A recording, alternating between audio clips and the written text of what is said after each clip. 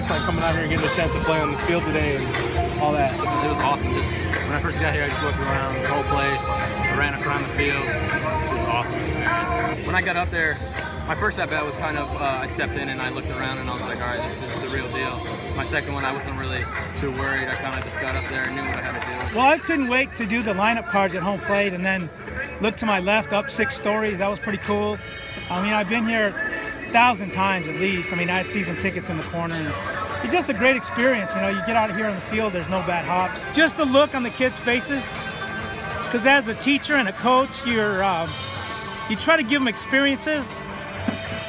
That's forever. In fact, I owe Dennis a lot because he's the one that asked me. He goes, "Coach, you want to do this?" And before he finished, I said, "Heck yeah!" It's special because, you know, one because of the win and gets us back on track, but two, Tony Gabusi coached me in high school, so it's a really special moment that he and I got to share with both of our teams, and, and so I'm glad we got to do it with Cienega as well.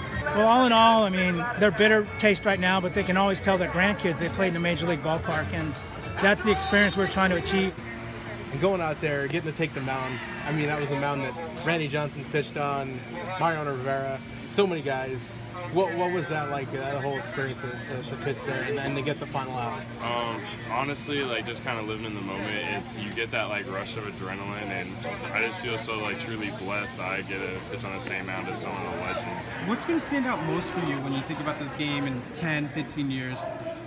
Um, honestly, because both times we've been out here, I've had a chance to pitch on the mound, and last year I got one inning, this year I got three, and honestly, just being blessed enough to be able to pitch on the same mound as some of the people who came before me is just a blessing, and it's going to stick with me till day I die. It was actually a moment when we were stretching. I kind of told myself if I got the chance to play Chase Field again, I would try to take in the moment. And when we were stretching, I kind of just like let it all sink in and all all emotions and just jittery just kept coming.